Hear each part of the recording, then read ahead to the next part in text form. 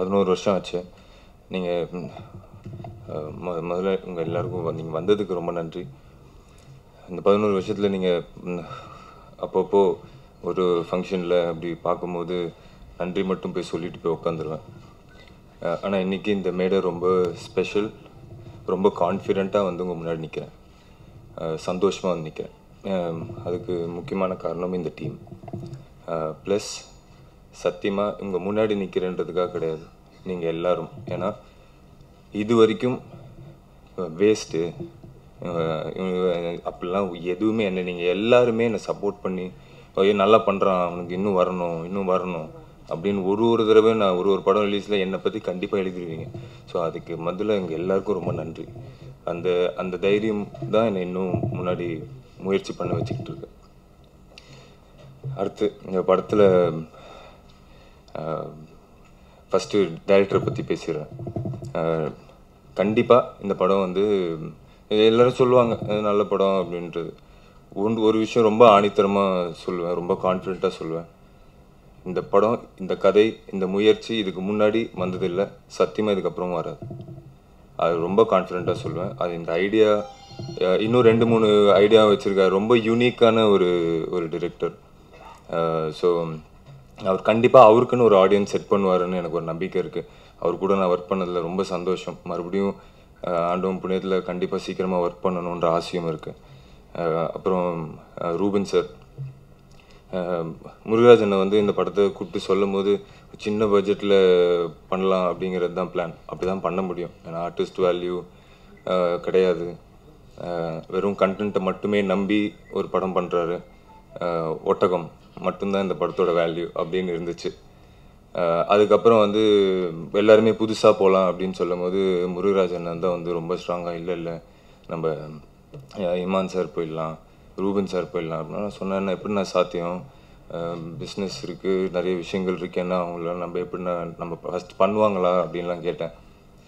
ரூபன் சாரும் சரி இமான் சாரும் சரி அவங்க ஏன் இந்த நிலைமைக்கு இருக்காங்க அப்படின்னா வெறுமே இதை வந்து ஒரு பணமாவோ இல்லை இதுவாவோ பார்க்காம இந்த கதையை கேட்டாங்க. அந்த கதையை ரொம்ப பிடிச்சி இந்த கதைக்குள்ளே வந்தாங்க.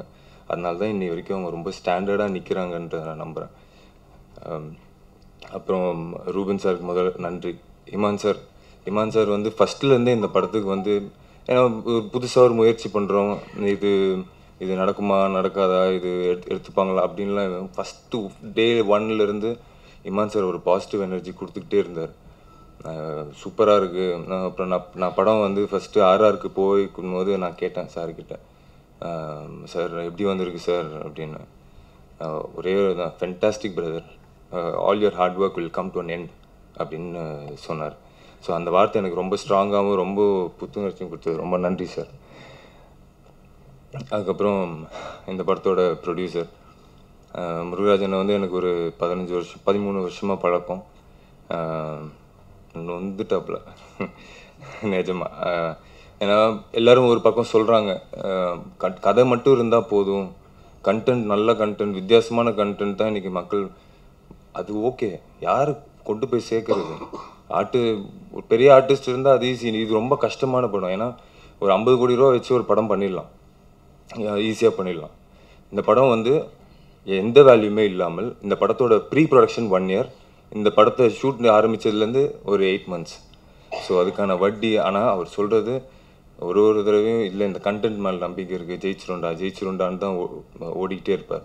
ஏன்னா இந்த படத்தோட பெர்மிஷன் கேமல் அப்படின்னோடனே அது இந்த படத்துலேயே இருக்கும். அதுக்கு அதுக்கு அந்த பெர்மிஷன்லேருந்து அந்த அனிமல் மேலே நிறைய பஞ்சாயத்து இருக்குது நிறைய பிரச்சனைகள் இருக்குது அந்த பிரச்சனைக்கு அந்த அந்த பெர்மிஷன் வாங்கி அதை இங்கே கொண்டு வரதுக்கே எட்டு மாதம் ஆச்சு.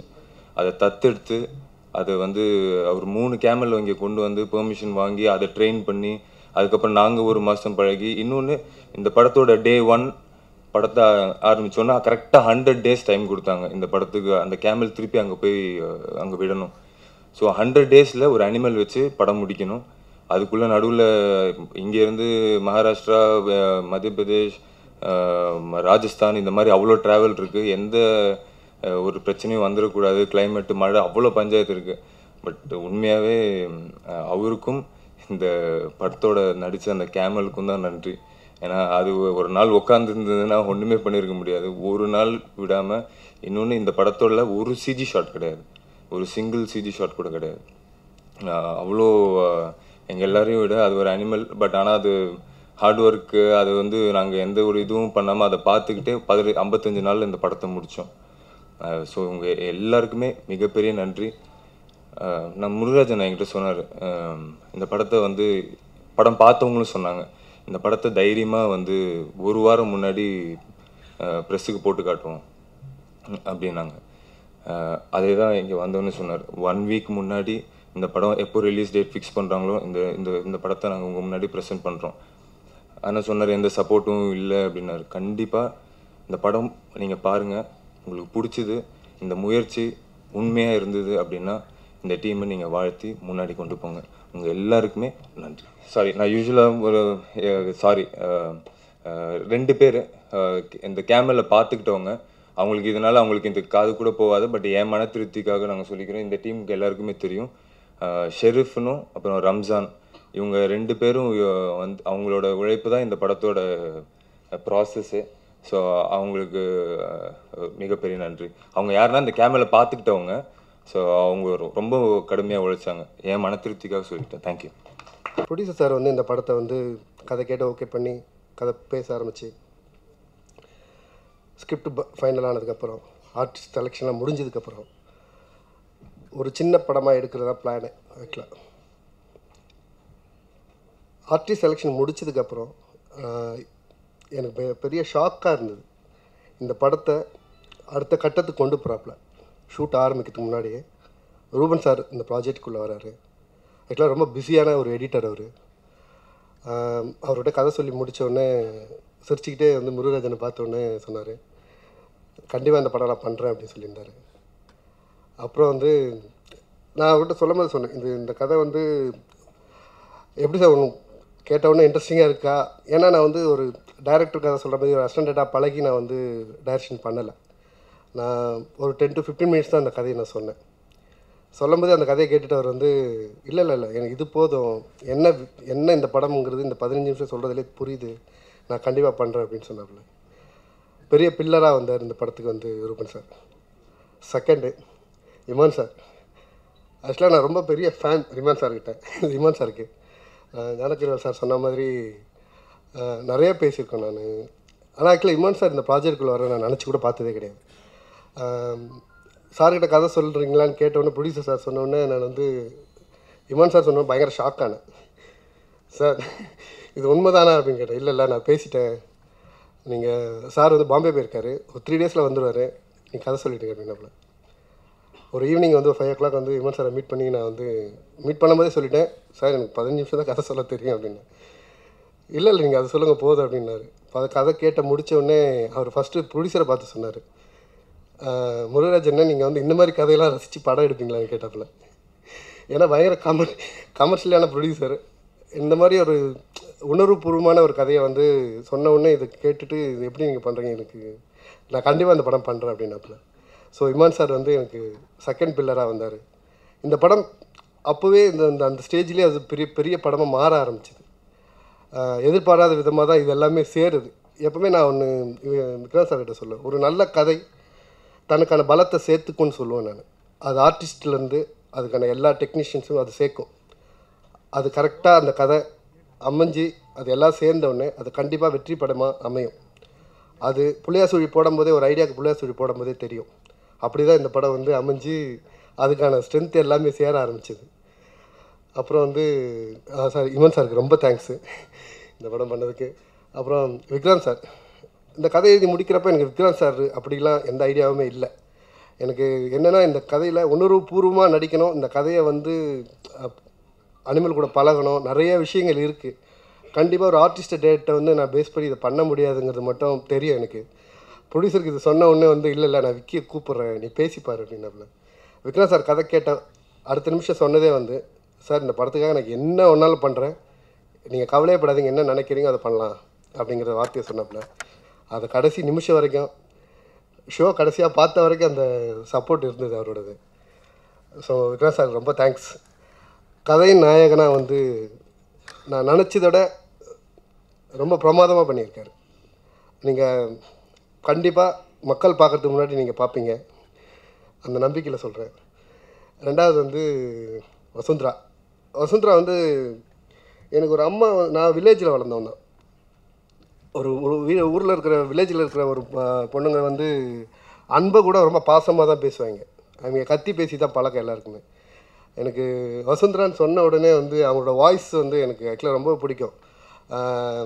நம்ம நார்த் இந்தியாவில் நம்ம ராணி முகர்ஜி அவங்களோட வாய்ஸில் ஒரு ஒரு சின்னதாக ஒரு மேல் வாய்ஸ் ஒன்று மிக்சடு இருக்கும். அப்போது அந்த மாதிரி வாய்ஸ் இன்னொன்னே எனக்கு வந்து அவங்க உண்மையிலே நீங்கள் பாசமாக பேசினாலும் அது கத்தி பேசுகிற மாதிரி தான் இருக்கும். அப்போ அந்த கேரக்டருக்கு வந்து கரெக்டாக இருப்பாங்கன்றது ஃபிக்ஸ் பண்ணேன். ஸோ அதே போல் தான் மண் முடிச்சிருக்காங்க. படம் பார்த்ததுக்கப்புறம் தெரியும். அதே போல் மதன் ரோகித் சார் ரோகித் சார் வந்து ரொம்ப நான் ஆக்சுவலாக கம்யூனிகேஷன் பண்ணது வந்து என் கோஆர்டினேட்டர் ஹரின்னு ஒருத்தர் கம்யூனிகேட் பண்ணாப்புல. சீன் சொல்கிறதும் சரி எல்லாமே. கதை கேட்ட அவர் அவரோட போர்ஷன் வந்து படத்தில் ஒரு டுவெண்ட்டி மினிட்ஸ் வரும். அந்த டுவெண்ட்டி மினிட்ஸ் வந்து அவரும் அந்த மோகிலியும் ரொம்ப இன்ட்ரெஸ்டிங்காக என்கேஜ் பண்ணியிருப்பாங்க. எமோஷ்னலாகவும் சரி. ரொம்ப ஜாலியாக இருக்கும். ஒரு கிளீனருக்கும் ஒரு டிரைவருக்கும் உள்ள ஒரு ஒரு ரிலேஷன்ஷிப் அந்த அந்த டுவெண்ட்டி மினிட்ஸ் அந்த படத்தில் இருக்கும். அதுக்கான பாயிண்ட்டாக உங்களுக்கு பார்த்த சாங்கில் இருக்கும் அது. ரோஹித் சாருக்கு ரொம்ப thanks Gnanakaravel sir and Maniyavadham sir. Song வந்து இந்த படத்தில் வந்து கதை ஓட்டத்தில் தான் இருக்கும் சாங்கு எதுவுமே வந்து திணிச்ச மாதிரியே இருக்காது. ஒரு சாங்கு அந்த சீனும் ரெண்டும் பிளண்டாக இருக்கும். நீங்கள் சாங்கை உருவிட்டிங்கன்னா கதை தெரியாது. வார்த்தைகளும் அப்படி தான் இருக்கும். அதுக்கு அமைச்ச டியூனாக இருந்தாலும் அப்படி தான் இருக்கும். ஸோ அதுக்கு கதையில் இருக்கிற எல்லா வார்த்தைகள் கதையில் இருக்கிற எமோஷ்னலை அவ்வளோ அழகாக வார்த்தைகளாக போட்டு அலங்குறிகளாக சரி கரடு முரடு பூவேன்னு ஒரு சாங்கு இது ரெண்டுமே இவங்க ரெண்டுமே எக்ஸ்ட்ரீமாக பண்ணியிருந்தாங்க. அதுலேயே எனக்கு வந்து ஆலங்குருவிகளால் வந்து நம்மோட முகத்து சாயலில் முன்னவங்க வாழ்ந்த தடம் இருக்குன்ற ஒரு வார்த்தை வரும். நம்ம வீட்டில் எல்லாருமே சொல்லுவோம் நம்ம குழந்தை வந்து எங்கள் தாத்தா எங்கள் அப்பா மாதிரி இருக்குது எங்கள் பொண்ணு வந்து எங்கள் அம்மா மாதிரிக்கெல்லாம் சொல்லுவோம். ஆனால் உண்மையாக அந்த வார்த்தை அந்த அந்த விஷயத்தை வந்து வார்த்தையாக கொடுத்துருந்தாப்புல. எனக்கு அது ரொம்ப பிடிச்சிருந்தேன் அந்த வார்த்தையை வந்து படித்த உடனே அவருக்கு நான் வந்து இமிடியேட்டாக இல்லை சார் ரொம்ப ஸ்ட்ராங்கான வார்த்தைன்ற வார்த்தை சொன்னேன். அப்புறம் தங்கம் தேடி பறக்காத குருவி. இதெல்லாம் ரொம்ப பிடிச்ச வார்த்தைகள். ஞானக்கருவல் சாரை பற்றி நான் வந்து ஆக்சுவலாக ரொம்ப நான் அவர் ரொம்ப பழக்கம். வார்த்தைகள் அவர் வந்து ரொம்ப கரெக்ஷன்லாம் இருக்காது. ஸ்கிரிப்ட் அவர் வந்து லிரிக் கொடுக்குறப்பவே ரொம்ப ஸ்ட்ராங்காக கொடுப்பேன் ஏன்னா எனக்கு என்ன தெரியும்னு அவருக்கு தெரியும். கதை பவுண்டட் கொடுப்பேன் படிப்பார். அதே போல் வார்த்தைகள் அதே போல் ஸ்ட்ராங்காக கொடுப்பார். இவரும் இந்த இவங்க ரெண்டு பேருமே பாடல்களுக்கு ரொம்ப சப்போர்ட்டடாக இருந்தாங்க. ஸோ எல்லாருக்குமே ரொம்ப தேங்க்ஸ் வாய்ப்பு கொடுத்த முருகராஜ் அண்ணனுக்கு ரொம்ப ரொம்ப நன்றி. ஓகே பொதுவாக வந்து பத்திரிகையாளர்கள் வந்து ஒரு நல்ல படத்தை அது சின்ன படமோ பெரிய படமோ அதை அழகாக மக்கள்கிட்ட கை பிடிச்சி கூட்டு போய் கொண்டு போய் விடுவாங்க. அந்த நம்பிக்கை இந்த பக்ரி பட படத்துக்கும் கொடுப்பீங்கன்ற நம்புகிறேன் தேங்க்யூ தேங்க்யூ ஸோ மச் எல்லாருக்கும் வணக்கம். அஹ், மேடையில் கொண்டு எல்லாருக்கும் வணக்கம். அண்ட் பத்திரிகை நண்பர்களுக்கு வணக்கம். தெரிஞ்ச விஷயந்தான் நல்ல படம்க்கு வந்து ப்ரெஸ் டெஃபினட்டாக சப்போர்ட் பண்ணுவாங்க. அண்ட் நீங்கள் ட்ரெய்லரை பார்த்துருப்பீங்க. ரொம்ப அழகாக வந்திருக்கு. அண்ட் இது வரைக்கும் இந்தியாவில் பார்க்காத மாதிரி படம். ஸோ டெஃபினட்டாக அவங்க சப்போர்ட் எக்ஸ்பெக்ட் பண்ணுவோம். அண்ட் முன்னாடியே தேங்க்ஸ் சொல்லிக்கிறோம் for all of your support இந்த ஃபிலிமோட ஒர்க்கிங் எக்ஸ்பீரியன்ஸ் வந்து எல்லாரும் சொன்னதான் நான் சொல்ல போகிறேன் but it was a unique experience இது வரைக்கும் இந்த மாதிரி எக்ஸ்பீரியன்ஸ் வந்தது கிடையாது. இந்த மாதிரி எக்ஸ்பீரியன்ஸ் கிடச்சது கிடைச்சதுக்கு கொடுத்து வச்சிருக்கணும். அந்த மாதிரி தான் சொல்லலாம். And it's a power house team especially music சைடில் வந்து we have Imman sir and very lucky for that and Jagadeesan சாரோட ஒர்க் பண்ணுற எக்ஸ்பீரியன்ஸ் as வெல் இஸ் அவருக்கு வந்து என்ன வேணும்னு எக்ஸாக்டாக தெரியும். Uh, ஆர்ட் டிரெக்டர்ஸை சொன்ன மாதிரி என்ன பிடிச்சிருக்கோ பிடிக்கலோ சொல்ல மாட்டேன் பிடிக்கல ஒன்றுமே சொல்லலைனாக்க ஓகே ஏதோ பண்ணுறோம் நல்லா பண்ணுறோம் அப்படின்னு எக்ஸ்பெக்ட் பண்ணிட்டு போக வேண்டியதான் பட் அவர் வந்து அந்த ரசித்து பண்ணதை பார்த்தா you want to work with them again and again and again hopefully நம்ம எல்லாருக்கும் அந்த மாதிரி ஒரு சான்ஸ் மறுபடியும் கிடைக்கணும். அண்ட் அஃப்கோர்ஸ் ப்ரொடியூசர் சார் இந்த மாதிரி ஒரு பியூட்டிஃபுல்லான ஃபிலிமை வந்து கமர்ஷியல் ஆஸ்பெக்ட்ஸ் இந்த ஐட்டம் நம்பர் அதெல்லாம் இல்லாமல் வந்து நம்பி ஒரு பியூட்டிஃபுல்லான ஸ்டோரியை ஹீரோ ஆக்கி பண்ண மாதிரி ஒரு படம். அண்ட் நான் விக்ராந்த் சார் சொல்லவே தேவையில்லை. Everybody knows him and everybody loves him is a power house performer இந்த இப்போ இந்த ஃபிலிம் பார்த்தீங்கன்னாக்க எஸ் ரீசெண்டாக ஃபிலிம் வந்திருக்கு அவரோட அது வந்து சூப்பராக இருக்குது பர்ஃபார்மன்ஸ் பட் இது வந்து இஸ் அப்சல்யூட்லி அமேசிங் நீங்கள் டெஃபினட்டாக அழுதுருவீங்க. ஸோ மறுபடியும் தேங்க்ஸ் சொல்லிக்கிறேன் ஃபார் யோர் சப்போர்ட் இது வரைக்கும் சப்போர்ட் பண்ணதுக்கு and please help make the movie success thank you திரைப்படம். இது முதல்ல சைன் பண்ணதுக்கு முக்கியமான நபர் படத்துடைய தயாரிப்பாளர் முருகராஜ் அவர்கள். நல்ல மனிதர் நல்ல எண்ணங்கள் உடைய ஒரு மனிதர் அவர். ஸோ அவர் எடுத்திருக்க இந்த முயற்சி வந்து ஒரு விஸ்வரூப வெற்றி பெறணும்னு நான் இல்லாமல் இல்லை இறைவனை வேண்டிக்கிறேன். அப்புறம் ரொம்ப அற்புதமான ஒரு அந்த ஒரு ஒன்லைனே ரொம்ப இன்ட்ரெஸ்டிங்காக இருந்தது. முக்கியமாக இந்த மாதிரி நல்ல கதைகளுக்கு ஒரு நல்ல திரைக்கதை அமையணும்னா அந்த கதையோட ஒன்லைன் வந்து சொல்லும் போதே ரொம்ப சுவாரஸ்யமாக இருந்துச்சுன்னா அதுக்கப்புறம் இருக்க திரைக்கதையெல்லாம் ஆட்டோமேட்டிக்காக அது அடுத்தடுத்த அடியாக வந்து விழும். ஸோ அப்படி அந்த ஒரு ஒன்லைன் சொல்லும் போதே ரொம்ப இன்ட்ரெஸ்டிங்காக இருந்தது. ஜெகதீஷன் சுப்பு அவர்களுக்கு என்னுடைய நன்றியை தெரிவிச்சுக்கிறேன். For pitching me in to this script so அதுக்கு முதல்ல நன்றி.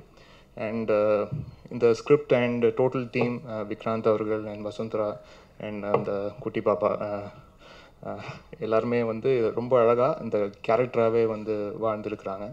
அண்ட் படத்தோடைய ஸ்கோரிங்க்கு வந்து ரொம்ப சேலஞ்சிங்காக இருந்தது. சாங்ஸ் தனியாக பின்னணி இசை தனியாக அப்படின்னு வந்து பிரித்து பார்க்க முடியாத ஒரு திரைப்படம் இது. ஏன்னா எல்லாமே வந்து பின்னி படைந்து இருக்கும் அந்த காட்சிகளுக்கு வந்து எங்கே சாங் ஆரம்பிக்குது எங்கே அது பேக்ரவுண்ட் ஸ்கோருக்குள்ளே எங்கே அது மர்ஜ் ஆகுது திருப்பி எப்படி சாங்குள்ளே வருதுன்றதே தெரியாமல் ரொம்ப கரெக்டாக ஸ்கிரிப்ட்குள்ளே இருக்கக்கூடிய சாங்ஸ் நம்ம பண்ணியிருக்கோம் அண்ட் லிரிசிஸ்ட் uh, இந்த ஃபிலிமில் நான் அசோசியேட் பண்ணி ஒர்க் பண்ணியிருக்கேன் ஞானக்கரவேல் அவர்களுக்கும் அண்ட் மணி அமுதன் அவர்களுக்கும் என்னுடைய நன்றியை தெரிவிச்சுக்கிறேன். இந்த கதாபாத்திரங்களுடைய தன்மையை உணர்ந்து அதோடைய போக்கை உணர்ந்து அழகான வரிகள் வந்து கொடுத்துருக்காங்க. ஒரு இன்ச்சு கூட இப்படி அப்படி அந்த அந்த பாத்திரங்களுக்கு வந்து அதிகமாகவும் இல்லாமல் குறைச்சலாகவும் இல்லாமல் என்ன தேவையோ அந்த உணர்வோடைய பிரதிபலிப்பாக வந்து அவங்களுடைய வரிகள் மூலியமாக கொடுத்துருக்காங்க. அதுக்கு என்னுடைய மனமார்ந்த நன்றியை தெரிவிச்சுக்கிறேன். இந்த திரைப்படம் இப்போ ரீசெண்டாக ஷோ பார்த்தேன். அண்ட் நான் எங்கள் ஃபேமிலி எல்லாருமே வந்து பார்த்தோம். அண்டு uh, முழுக்க முழுக்க ஒரு அனிமல் லவ்வை பற்றி ரொம்ப அழகாக சொல்லக்கூடிய ஒரு திரைப்படமாக இருந்தது. ரொம்ப ஒரு க்ளீனான ஒரு ஃபிலிமாக இருந்தது. அதாவது இந்த திரைப்படம் வந்து அப்படியே சினிமா தமிழ் சினிமா புரட்டி போட்டுரும் அப்படியே மாற்றி எழுதிடும் அப்படிலாம் சொல்ல முடியாது. பட் அதை தாண்டி ரொம்ப முக்கியமான ஒரு ஒரு பதிவாக வந்து நான் பார்த்தது. ஒரு ஒரு ரெண்டு மணி நேரம் இந்த படத்தை பார்த்துட்டு வெளியே வரும்போது ஒரு நல்ல படம் பார்த்தோம் அப்படின்ற ஒரு திருப்தி இருக்கும். நிறைய பாசிட்டிவ் விஷயங்கள் பாசிட்டிவ் எனர்ஜி வந்து நம்மளுடைய மனசுக்குள்ளே புகுத்தக்கூடிய நிறைய விஷயங்கள் இந்த படத்துக்குள்ளே இருந்தது. ஏன்னா இன்றைக்கி வந்து மனிதர்களுக்குள்ளேயே ஏகப்பட்ட போராட்டங்கள் சண்டைகள் சச்சரவுகள் இருக்கிற இந்த காலகட்டத்தில் இந்த மாதிரி மிருகங்கள் மேலே நம்ம வைக்கக்கூடிய அந்த அன்பு பாசம் அதெல்லாம் இன்னும் அழகாக எடுத்து காமிக்கக்கூடிய ஒரு அழகான திரைக்கதையை அவர் வந்து பண்ணியிருந்தார். அதை பார்க்கும்போது ரொம்ப மகிழ்ச்சியாக வந்து இருந்தது. முன்னாடி வந்து Ramnarayan sir legendary director Ramnarayan சாரோட திரைப்படங்களில் மிருகங்கள்லாம் வந்து இருக்கும். பட் அது கூட வந்து பார்த்திங்கன்னா வந்து ஹியூமன் எமோஷன்ஸை வந்து ஒட்டி அவங்களுக்கு வந்து தூது போகும். இந்த மாதிரி அனிமல்ஸ்லாம் வந்து தூது போகும். ஹெல்ப் பண்ணும். அவங்களுக்கு வந்து என்னென்ன கதை கதையோடைய போக்குக்கு அந்த மனிதர்களுக்கு என்னென்ன உதவிகள்லாம் தேவையோ அது பேக்ட்ராப்பில் மிருகங்கள் இருந்து வந்து வேலை செய்யும். பட் அதே மாதிரி நான் இதுக்கு முன்னாடி வேலை செஞ்ச கும்கி திரைப்படத்தில் வந்து அது ஒரு முழுக்க முழுக்க ஒரு காதல் கதையாக இருந்தது. பேக்ட்ராப் தான் ஒரு கும்கி யானை அப்படின்ற ஒரு விஷயம் இருந்தது. பட் இதில் வந்து முழுக்க முழுக்க அந்த அனிமல் லவ் பேஸ் பண்ண ஒரு ஃபிலிமாக இருந்தது. ஒரு டோட்லி அன்அடல்ட்ரேட்டட் ஒரு ஃபிலிம் இது ஸோ அதை வந்து பார்க்க ரொம்ப சந்தோஷமாக இருந்தது. நானும் இந்த படத்துக்கு ஒரு இசை வடிவம் கொடுத்துருக்கேன் அப்படின்னு நினச்சி பார்க்கும்போது ரொம்ப சந்தோஷமாக இருக்குது அண்ட் இதில் பெர்ஃபார்ம் பண்ண அனைவருக்கும் நன்றி. அண்ட் டச்வுட் இந்த படம் ஒரு மிகப்பெரிய வெற்றி படமாக அமையணும். விக்ராந்த் அவர்களுக்கு எப்போவுமே நிறைய பேட்டிகளை வாட்ச் பண்ணிகிட்ருக்கேன் இருக்கேன் பாண்டி நாடுக்கு முன் பாண்டி நாடுக்கு பின் அப்படின்னு வந்து சொல்லிட்டு இருப்பார் ஸோ இறைவனரோட அந்த பாண்டி நாடு படத்துலையும் நான் அசோசியேட் ஆகிருக்கேன் அண்ட் இந்த படத்துலையும் அசோசியேட் ஆகிறதுல எனக்கு பெரிய மகிழ்ச்சி. இந்த படமும் உங்களுக்கு ஒரு முக்கியமான திரைப்படமாக அமையணும். உங்களுடைய லைஃப்பில் நான் எல்லாம் போல இறைவனை வேண்டிக்கிறேன். இதுக்கப்புறம் நீங்கள் பாண்டி நாடு நீங்கள் சொல்லக்கூடாது. பக்ரீத்துக்கு முன் பக்ரீத்துக்கு பின் அப்படின்னு தான் வந்து சொல்லணும். வாழ்த்துக்கள். எல்லாம் உள்ள நன்றி. வச்சு எடுக்கப்பட்ட படம் பக்ரீத். அதனால் இந்த படத்தில் ஒர்க் பண்ண எங்கள் எல்லாத்துக்குமே அது ரொம்ப பெரிய மகிழ்ச்சி. அது ஒரு சிறப்பான விஷயம். எனக்கு இந்த படத்தில் தனிப்பட்ட முறையில் ஒரு சிறப்பான விஷயம் இருக்குது. அது இமான் சாரோட நான் ஒர்க் பண்ண முதல் படம் பக்ரீத். முதல் படத்துலேயே மூணு பாடல்கள் எழுதியிருக்கிறேன். அந்த வாய்ப்பை கொடுத்த டைரக்டர் ஜெக ஜெகதீஸ்வரன் சுப்பு அவர்களுக்கு என்னோட நன்றி. ஆக்சுவலாக இமான் சாரோட ரசிகர்கள் நானும் டைரக்டரும் ரொம்ப வருஷமாகவே எனக்கு ரொம்ப நண்பர் அவர் ஜெகதீஷ் சார். இமான் சாரோட எந்த பாட்டு எப்போ ரிலீஸ் ஆனாலும் முதல் முறையாக நாங்கள் கேட்டுட்டு ஒவ்வொரு பாட்டையும் எடுத்து வச்சு இந்த இடத்துல இது எப்படி பண்ணியிருக்கான்னு பாருங்கள் இந்த இடத்துல பண்ணியிருக்கிற பாருங்க அப்படின்னு சொல்லிட்டு ஒவ்வொரு ஒவ்வொரு லைனாக ஒவ்வொரு இடத்தையும் பாராட்டிகிட்டு இருப்போம். அந்தளவுக்கு நாங்கள் நாங்கள் ரெண்டு பேரும் திக் ஃபேன்ஸ் இமான் சாருக்கு. ரெண்டு ரசிகர்கள் சேர்ந்து இமான் சாரோட ஒர்க் பண்ணியிருக்கிறோம். அதில் எங்களுக்கு ரொம்ப மகிழ்ச்சி. எம் டென் ப்ரொடக்ஷன் சார்பில் எம்எஸ் முருகராஜ் சாரோட தயாரிப்பில் இந்த படம் ரெண்டாவது படம் இது அவருக்கு.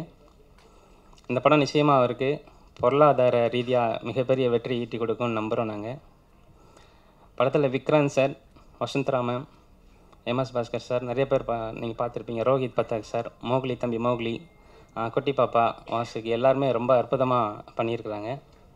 படம் பார்த்த எல்லாருமே ரொம்ப சிறப்பாக வந்திருக்குன்னு பாராட்டி ஃபோன்ல எல்லாம் தெரிவிச்சிட்ருக்குறாங்க பாடல்கள் அனைத்துமே ரொம்ப பெரிய வெற்றி அடைஞ்சிருக்குது. எல்லாராலையும் பாராட்டப்பட்டிருக்குது பாடல்கள்.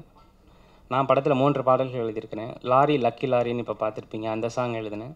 அப்புறம் கரடு மரடு போவேன்னு ட்ராவல் சாங் ஒன்று அதே இதில் கிளைமேக்ஸ் சாங் ஃபீமேல் மேல் வெர்ஷனாக பண்ணியிருக்கிறோம்.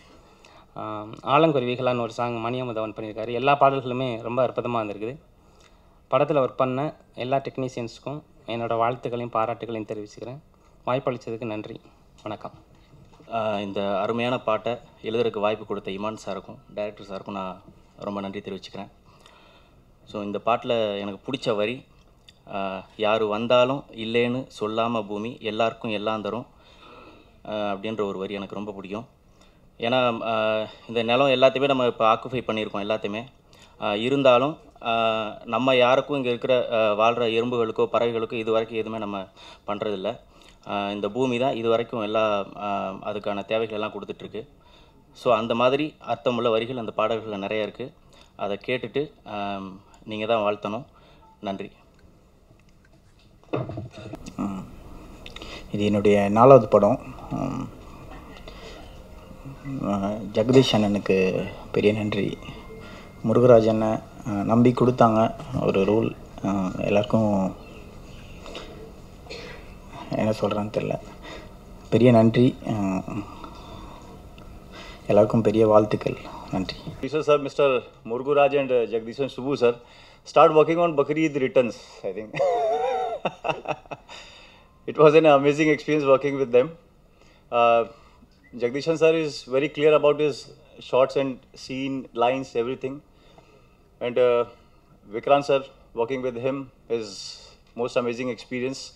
He makes me so comfortable because uh, actually this is my second film in Tamil, and uh, really uh, I thanks to Mr. Murguraj and Jagdishan Subbu sir for casting me this film, and uh, also I'm uh, thanking you for each and every member of this uh, film, everybody. Thank you so much. Manager art director இது ரெண்டு பேர் மட்டும் நான் சொல்லுவேன் அப்படின்ற மாதிரி அவர் முன்னாடி director சொல்லிட்டு இருக்காரு அப்புறம் போனோம் போயிட்டு ஃபஸ்ட் ஷெட்யூல் போச்சு ஃபஸ்ட் ஒரு டீ கடை செட்டப் இந்த மாதிரி சின்ன சின்ன பேங்க்கு இது மாதிரி வீடு இது மாதிரி பண்ணியிருந்தேன். என்னென்னா என்னன்னா பண்ணிட்டு டைரக்ட் எதுவுமே சொல்ல மாட்டேன். நான் பண்ணி கொடுப்பேன் வந்து பண்ணிட்டு ஷூட் பண்ணிட்டு போயிட்டு இருப்பார். எனக்கு ஒரு பக்கம் ஒரு மாதிரி பதட்டமாக இருந்துட்டுன்னா அது?